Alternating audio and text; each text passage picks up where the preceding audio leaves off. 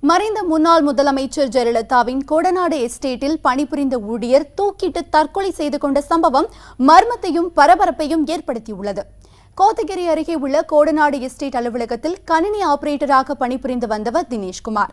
கெங்கரையைச் சேர்ந்த இவர் சில நாட்களுக்கு முன்பு பார்வை குறைபாடு காரணமாக மருத்துவமனையில் கண் அறுவை சிகிச்சை செய்து கொண்டார். இதனையடுத்து அவர் கடந்த மூன்று நாட்களாக அலுவலகத்திற்கு செல்லாமல் விடுப்பு பெற்று வீட்டில் ஓய்வு எடுத்துள்ளார். இந்நிலையில் வீட்டில் யாரும் இல்லாத நேரத்தில் அவர் துணியால் தூக்கு மாட்டி தற்கொலை செய்து கொண்டதாக கூறப்படுகிறது. இது தொடர்பாக கோத்தகிரி போலீசார் வழக்கு பதிவு செய்து விசாரணை மேற்கொண்டு வருகின்றனர். கோடநாடு பங்களாவில் கொலை மற்றும் கொள்ளை வழக்கில் மர்மம் நீடிக்கும் நிலையில் தற்போது மேலும் ஒரு ஊழியர் தற்கொலை செய்து கொண்டிருப்பது பரபரப்பை ஏற்படுத்தியுள்ளது. ஆனால் இந்த சம்பவத்திற்கும் கோடநாடு கொள்ளை வழக்கிற்கும் எந்த சம்பந்தமும் இல்லை என்றும் தினேஷ்குமார் மன உளைச்சல் மற்றும் வேறு காரணங்களால் தற்கொலை செய்து கொண்டதாகவும் போலீசார் தகவல் தெரிவித்துள்ளனர்.